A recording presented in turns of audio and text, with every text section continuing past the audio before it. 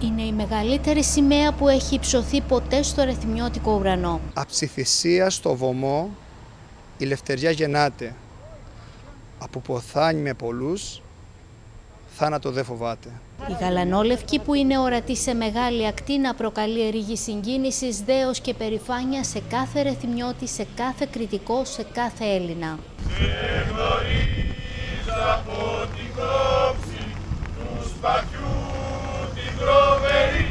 Στις 8 το πρωί η υποβροχή μέλη του Συλλόγου Ενεργών Πολιτών Σύμπολης μαζί με τμήμα του ομίλου Βρακοφόρων έκαναν ένα ιδιαίτερο τελετουργικό στο χώρο της Μαρίνας για την έπαρση της γιγαντιαίας γαλανόλευκης γιορτάζοντας με τον τρόπο αυτό τα 200 χρόνια από την Επανάσταση του 1821.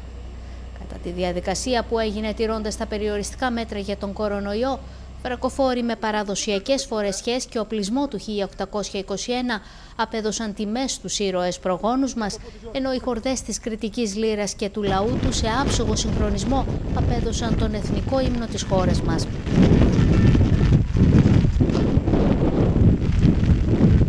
Θα να περάσουμε δύο μηνύματα. Το πρώτο βέβαια έχει σχέση με την ε, επέτειο, την ιδιαίτερη επέτειο των 200 ετών από την εθνική μας παλιγενεσία, από την έναρξη της Ελληνικής Επανάστασης.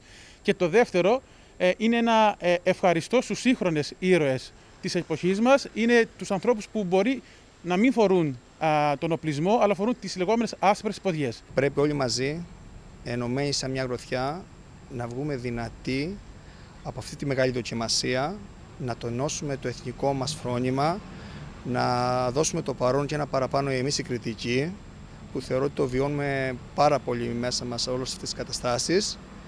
Ε, και να δείξουμε το μήνυμα στη νέα γενιά ότι δεν πρέπει να ξεχνάμε αυτούς που πριν από 200 χρόνια πολέμησαν, θυσιάστηκαν για να είμαστε εμείς ελεύθεροι. Η τεραστίων διαστάσεων σημαία κατασκευάστηκε το προηγούμενο διάστημα από βιοτεχνία της πόλης.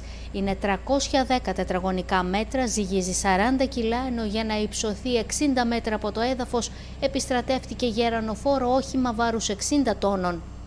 Όμως, μια εξίσου μεγάλων διαστάσεων σημαία υψώθηκε το πρωί και στην πλατεία του αγνώστου στρατιώτη δίπλα στο μνημείο με πρωτοβουλία του ρεθμιώτη Γιώργου Σπαντιδάκη και άλλων πολιτών που απέδωσαν τιμές στους ήρωες της Επανάστασης.